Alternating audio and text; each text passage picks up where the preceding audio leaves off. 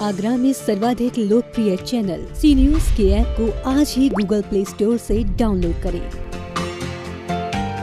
Corona काल में यात्रियों की कमी के चलते सिटी बसों की संख्या भी कम कर दी गई है। भगवान टॉकी चौराहे से आगरा कैंट तक सिर्फ़ 10 बसों का संचालन किया जा रहा है। कोरोना संक्रमण से बचने के लिए सिटी बसों में सीमित सवारी बैठाई जा रही है।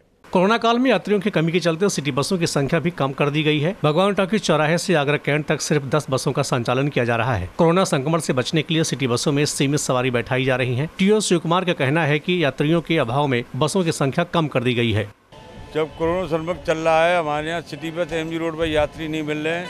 उनकी संख्या घटा के दस कर दी गई है। और उनमें भी यात्री पर्याप्त मात्रा में नहीं मिल रहे हमको। और जो है, नुकसान जा रहा है। पहले कितनी बसों का संचालन हुआ? पहले कोरोना से पहले हमारी बीस गाड़ी बीस बाईस गाड़ियाँ चलती थी।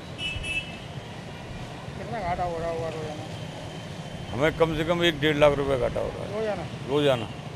अब यात्रियों की जहाँ इनको हमारी डेढ़ लाख रुपए आती थी मैं पचास हज़ार साठ हज़ार रुपये इनकम आ रही है महात्मा गांधी मार्ग पर यात्रियों की सुविधा के लिए लॉकडाउन में सिटी बस चलाई जा रही हैं, लेकिन यात्रियों की कमी के चलते विभाग को घाटा हो रहा है। संक्रमण से बचने के लिए भगवान टॉकीज चौराहे पर बस सैनिटाइज कर सवारी बैठाई जाती हैं।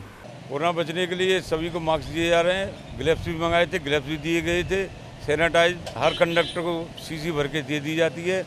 भगवान टाकीज में भी गाड़ियाँ सैनिटाइज होती हैं और वहाँ भी जो है एक आदमी डिस्ट्रीब्यूट किया गया है कि जो भी गाड़ी में चढ़ेगा, उसका नाम पता नोट किया जाएगा, सैनिटाइज किया जाएगा।